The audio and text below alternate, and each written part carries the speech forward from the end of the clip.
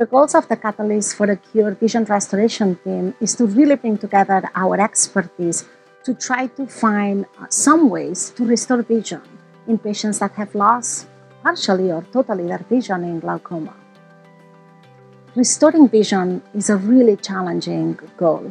So we're trying to cover all our bases. And the first thing we're trying to do is something called neuroprotection. So we try to find ways um, to protect the cells that are still there and try to rewire the axons of the retinal ganglion cells. These are the little wires that connect the retina with the brain at the stage of a disease that the cells are still there, but this little connection is slowly degenerating. The other thing that we are trying to develop is technologies to be able to transplant new cells after the uh, normal cells of a patient have already degenerated. Um, so that second is a lot more challenging uh, but we are hopeful that we can uh, make a difference. I am a developmental biologist, and my passion is to understand how embryos develop and to understand how stem cells are able to make all these different cell types that make a human body, including the eye.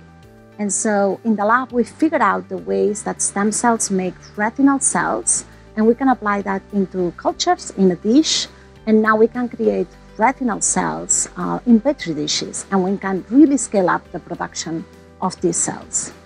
The final goal of creating these cells in the lab is to then have donor cells for transplantation approaches. So the final goal is to be able to collect these cells that we make in the lab, transplant them in an eye of a patient, and hopefully find ways to really correctly rewire the lost connections. I became a scientist because I think I'm a very curious person. Um, and so I always wanted to know how things work, how cells work. But also, um, probably during my postdoc, I really wanted to make a difference for human health and to have a research that's really meaningful for and improve human, uh, human lives. For me, being part of the team is a unique opportunity. So by bringing all of us together, we can uh, create a project that wouldn't be possible in any of our uh, labs by themselves. And so to me, uh, I'm learning a lot uh, from the other team members, but I, we're also creating something together uh, that hopefully it's something very unique and can really um, lead to important discoveries. I am very optimistic. I think that science is now progressing at a rate that we've never seen before.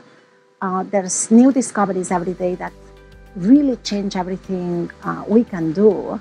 And so what we're trying to achieve is absolutely challenging and difficult. And it's going to take a while and lots of effort, but I'm really hopeful that uh, we will be able to restore vision uh, at some point in the future. So we are engineering stem cells to try to make them better at uh, being donor cells. So we are engineering them in ways so we can screen how uh, we can get them to really engraft in a host retina after we transplant them and how we can get them to survive better after the transplantation and extend these axons that are really what's needed to restore vision in the future.